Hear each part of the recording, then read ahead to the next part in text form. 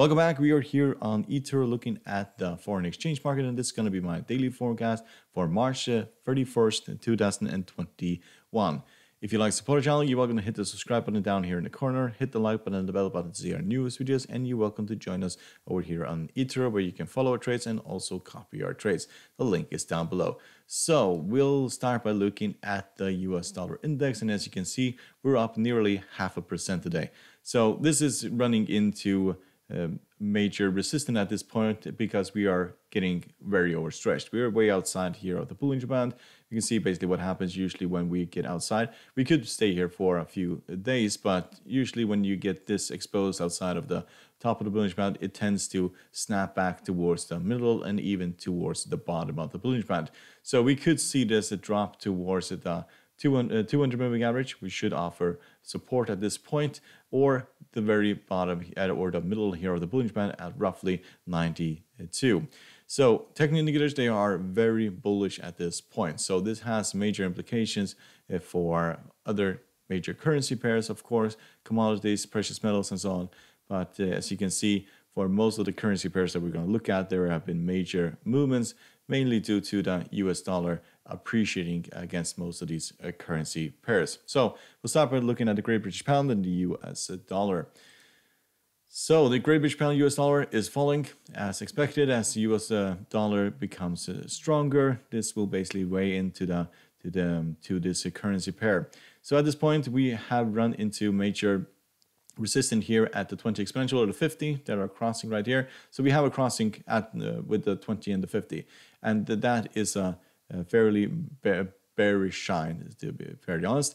So technical indicators otherwise are very negative at this point. MACD is bearish, the stochastic is crossing the signal line becoming bearish, CCI is bearish, and the RSI is also bearish. So we are uh, just above the, the bottom of the Bollinger Band here at uh, 1368, and that is also where we found a major support uh, only a few days ago. So if this breaks, then we could drop all the way down towards 1350. Uh, so we are clearly, um, we have clearly broken this uptrend. We are at the moment trading underneath the 50 moving average. The 20 exponential is crossing the 50, and we haven't seen that crossing since basically all the way back, back here in November. So at this point, it rallies up towards the 20 exponential, they will most likely be sold into. And uh, next target is actually in the long is going to be uh, 1350 and probably all the way down to the 200 moving average if we don't see a massive reversal here and it doesn't look like we are we are seeing that at this point so we are technically no longer trending um, upwards we are actually trending downwards so let's look at the US dollar Japanese yen So we have absolutely exploded to the upside. So we had this massive move here. So the 20 exponential, we can as confirm compared to uh, if we look at the price action in the last few months, then the 200 uh, the 20 exponential has offered massive support. And we can also see this move here when we traded sideways, got very close to the middle of the Bollinger Band and then just absolutely exploded to the upside the last five trading days we are getting significantly, we are significantly overbought, we are significantly overstretched. So a pullback um, at this point, that should not be uh, very strange. It is, uh, we are trading at 110 and we haven't been trading at 110. We're basically all the way back here in 2020, basically in June 2020, we were at this, um, at this level. So pullbacks towards the 20 exponential, they are most likely going to be bought into. Uh, rally to, to buy it at this stage is very risky because we are so overstretched and overbought. But pullbacks towards 20 20 exponential, that should be uh, that's probably where buyers will come back in and buy this to the upside. Technical indicators otherwise are very bullish, and uh, that is not surprising considering this massive move to the upside. So euro, US dollar. So as you can see, we are absolutely falling apart here in the euro US dollar. So we're getting also very overstretched to the downside. We're outside of the Bollinger Band here. We're approaching uh, oversold conditions in the RSI. Technical indicators are very negative at this point, and we are most likely going to have a crossing of the 20 and the 200 moving average at this some point, uh, probably tomorrow session or on on Thursday's session. So at this point, rallies to, towards the 200 moving average or the 20 exponential, they will most likely be sold into at this point, as you can see right here, here, also here, and so on. And even better if you go all the way down to up towards the 50, as we did only a few weeks ago, that will also uh, most likely be sold into. We are, the trend here has completely changed.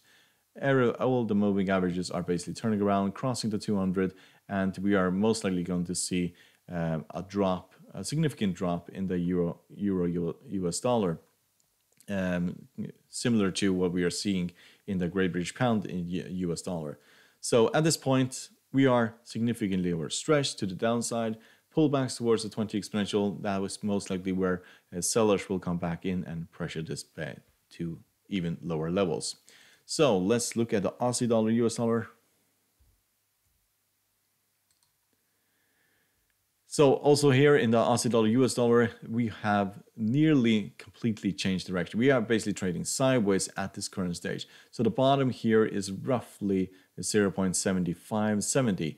So we are not very, we are fairly close to that um, that support level, which we have tested twice. We saw right here and also right here, and we're trading just above that. But if this continues in this fashion, we will most likely test that and probably break it and head towards 0.75. Rallies towards the 20 exponential, they will, are most likely going to be sold into as we saw here. And basically, we have had a really struggle to basically get above the middle of the Bollinger Band for a really long time now. Last time we did that was basically in the beginning of March. And um, well, that was not a really serious attempt. We did rally above and then just completely crashed to the downside. So at this point, rallies towards uh, give or take 0.7687 that will most likely be sold into and most likely the uh, next target will be 0.75 so let's look at the us dollar canadian dollar so US dollar Canadian dollar has uh, is also in changing direction here. We're still in this downtrend. So we have been in this downtrend all the way back to March last year. Um, but we are testing the 50 moving average, which we have done several times in the past, and we have been rejected every single time. So we can see it right here, right here, and so on. So at this point, if we don't manage to break above the 50 moving average, we are most likely going to turn around here and head back towards the very bottom of 1231. Technical indicators are very bullish at this point. So there is uh, quite a lot of room to the upside. We can basically rally all the way up to 1271 before we find major support here at the Bollinger Band. And there's a lot of room to the upside also in the RSI. So this could go past like we saw back here in the beginning of February, or we can see something similar to this, where we basically rally up towards the 50 moving average and then break down.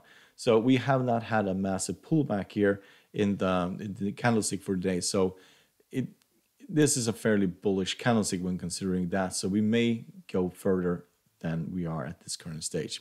So, hope you find this helpful. You're welcome to support our channel by subscribing hit the like button and the bell button to see our news videos. And you're welcome to join us over here at eToro. The link is down below. Good luck and thank you very much.